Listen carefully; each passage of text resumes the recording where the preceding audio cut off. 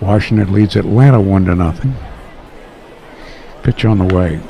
Hit ball hit deep to center field. Borbon going back. He won't get it. It's over his head and up against the wall. One run scores. Here comes the second. There'll be a throw to the third base, and he is going to be safe at third with a sliding triple.